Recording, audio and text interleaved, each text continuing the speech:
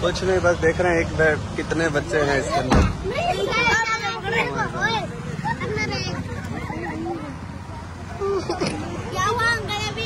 कितने बच्चे बैठे हो यार अंदर? हाँ? चौदह? तो ज़्यादा ही लग रहे हैं। चार आगे देखिए और दस से ज़्यादा कई लोग हैं अंदर।